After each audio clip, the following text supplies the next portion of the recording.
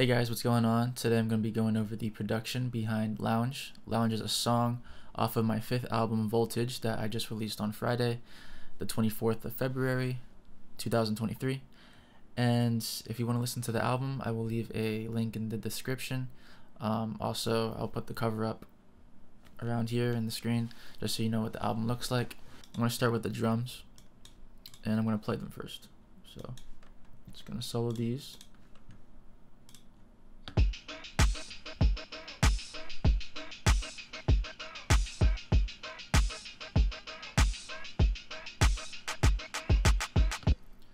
So I just wanted to take a very simple approach, just a, a four on the floor um, type of drum pattern.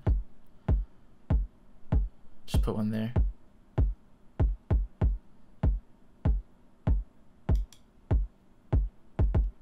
So yeah, that was it for the kick. And then I just have a very simple clap pattern that accompanied the kick.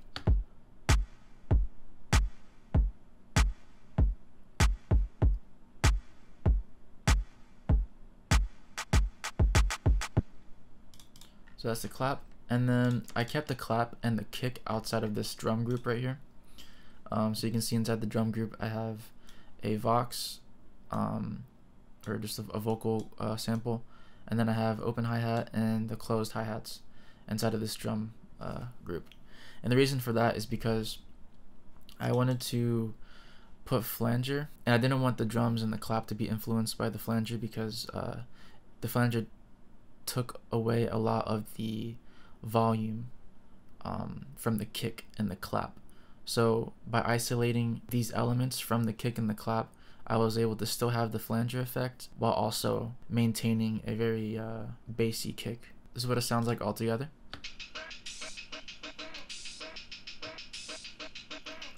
If I were to take off the flanger, this is what it would sound like.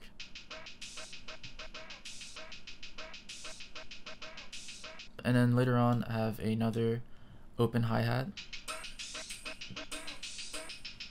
That's what it all sounds like.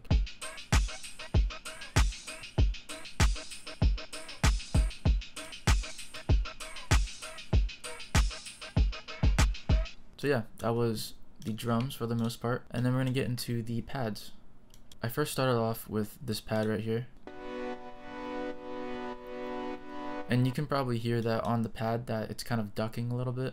And that's because I put a ducker on it. And to do that, I just used the kick. I just made up a pattern for uh, how I wanted the ducker to sound. And to do that, um, I have the kick pattern here and its own track. It's called ducker. And then I sidechained the compressor from the ducker. So you can see here, I kind of controlled it.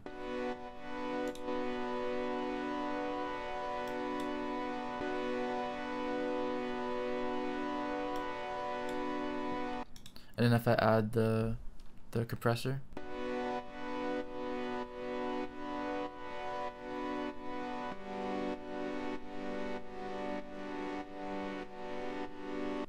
Yep, so that was it. I used the utility to kind of stereo image it a little bit. Alright, and then after that I had this bell pad thing. That was another patch on the Minilogue.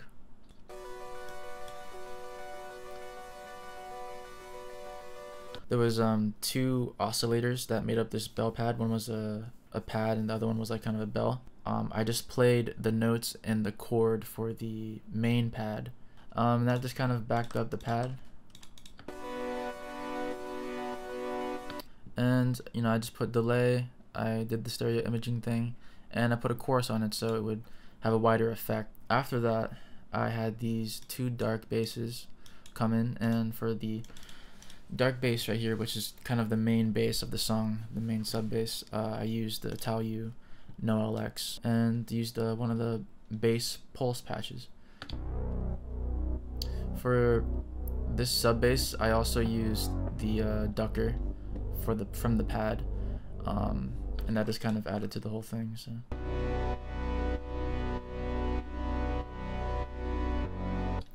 And then for this darker bass right here, it's it's a little lighter on the low end, but it kind of accentuated the high end for the sub bass.